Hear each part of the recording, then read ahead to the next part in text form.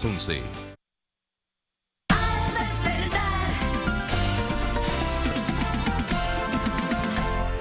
6 de la mañana con 32 minutos. Este jueves da inicio la exhibición del artista Peter Rodríguez, Vida, Cultura y Color en el Museo Mexicano de San Francisco. Y Adriana López, quien es vocera del museo, está aquí para hablarnos un poquito más acerca de ella, ahora que este museo está celebrando además su 40 aniversario. Adriana, felicidades. Gracias. Para sí, todo el 40 museo. años. A ver, la gente a lo mejor no sabe que Peter Rodríguez es el fundador de este museo Es el fundador y también un artista increíble. y tiene 89 años, pero sigue muy activo.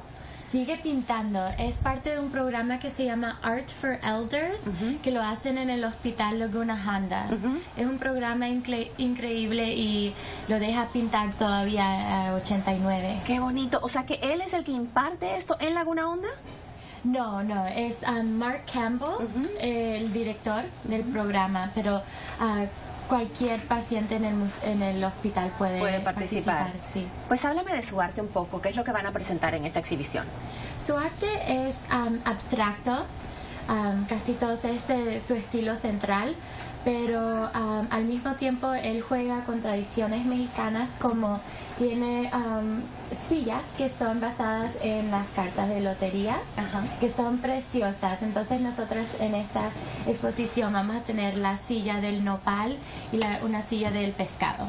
Perfecto, bueno, pues quiero comentarle además que el Museo Mexicano es el más prestigioso de la costa oeste sobre el arte, la cultura y la herencia mexicana, la cultura mexicoamericana también, la chicana, la latinoamericana y además le quiero comentar que es una filial del Museo Smithsonian. A lo mejor usted no sabía que los museos Smithsonian son una colección de museos más famosos en Washington DC, en donde usted puede cuando va de visita, eh, pues visitar muchísimas instituciones que es gracias a esta persona, eh, quien dio la donación por la que lleva su nombre, eh, tienen una asociación con ellos. Cuéntame un poquito más, Adriana.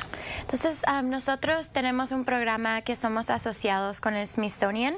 El único otro museo en San Francisco es MOAD, que también tiene esa asociación con el Smithsonian.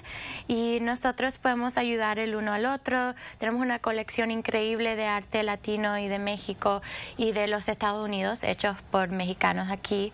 Y es una colección increíble que nosotros podemos compartir con el Smithsonian y ellos con nosotros. Qué bueno, bueno, por si no lo sabía, el MOAD es el Museo de la Diáspora Africana, que también aquí está en San Francisco, y es una, una es un gran honor no ser parte, tener esta, esta, esta enlace con el Smithsonian. ¿Hasta cuándo va a estar esta presentación en el museo?